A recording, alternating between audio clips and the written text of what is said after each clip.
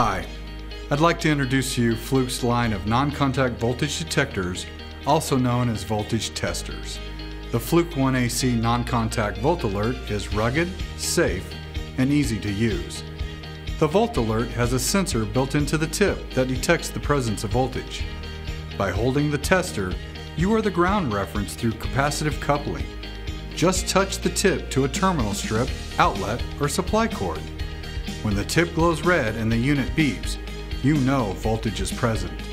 Fluke offers three testers in the Volt Alert family. The Fluke 1AC measures from 90 to 1000 volts, the LAC measures from 20 to 90 volts, and the LVD2, which has a built-in flashlight, measures from 90 to 600 volts. For more information, go to Fluke's website at www.fluke.com.